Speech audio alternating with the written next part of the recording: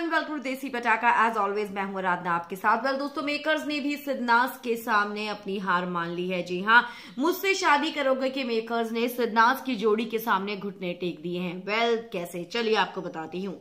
यहाँ पर गौतम ने जब फुटेज दिखाई मंडे के एपिसोड में और ये दिखाने की कोशिश की कि शहनाज के दिल में सिर्फ़ और सिर्फ़ सिद्धार्थ है। शहनाज ने खुलेआम कहा कि हाँ मेरे दिल में सिर्फ़ और सिर्फ़ सिद्धार्थ है। आई लव हिम मैं उसे प्यार करती हूँ, इन सबको पता है तो पूरी दुनिया को पता है।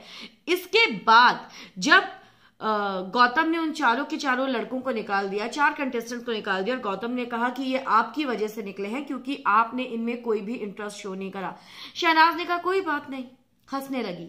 यानी कि शहनाज एक क्लियर कर चुकी है मेकर्स को, जो हम लोग शहनाज के जेस्टर से पता लगा पा रहे हैं कि शहनाज ने चीज़ क्लियर कर दी है कि देखो भाई, मैं इस घर के अंदर सिर्फ़ एंटरटेनमेंट पर्पज से आई हूँ और मैं सिर्फ़ और सिर्फ़ सिद्धार्थ से प्यार करती हूँ। ये टटपुंजी है मेरा कुछ भी नहीं कर सकते और मेरा दिल इन पागल बंदरों पर नहीं आ सकता है।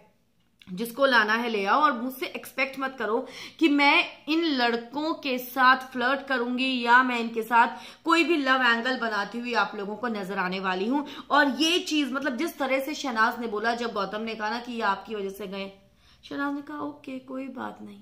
बहुत पोक करा गौतम ने शहनाज को। बार बार उसने बोला कि आपको ये मज़ाक लग रहा है, आपको हँसी आ रही है। शहनाज ने रिएक्ट नहीं करा। क्लियर है गाइस शहनाज मेकर्स को हिदायत दे चुकी है और ये चीज़ अब दिख रही है। कि आपको भी ऐसा लगता है? कमेंट सेक्शन में हमें ज़रूर लिख कर बताएँ। हमारे इस वीडियो को लाइक करें और ज़्यादा से ज़्यादा शेयर करें। और अगर अभी तक आपने हमें सब्सक्राइब नहीं किया है तो हमें सब्सक्राइब कर लीजिए और बेलाइकन को दबाना। Please do not forget bye guys